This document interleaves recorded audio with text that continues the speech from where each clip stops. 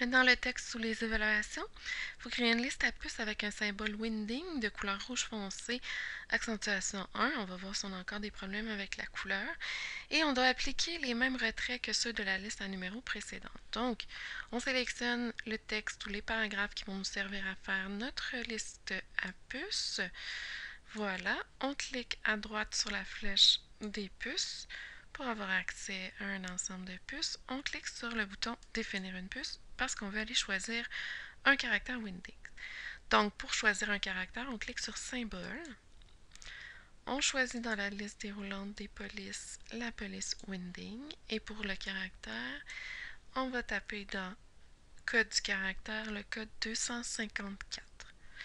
Donc, on arrive à... C'est une espèce de petite case à cocher avec un crochet à l'intérieur.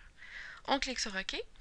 Et pour changer la couleur, on va cliquer sur le bouton Police qui va nous permettre de changer la couleur de la police pour du rouge accentuation 1 qui n'existe pas.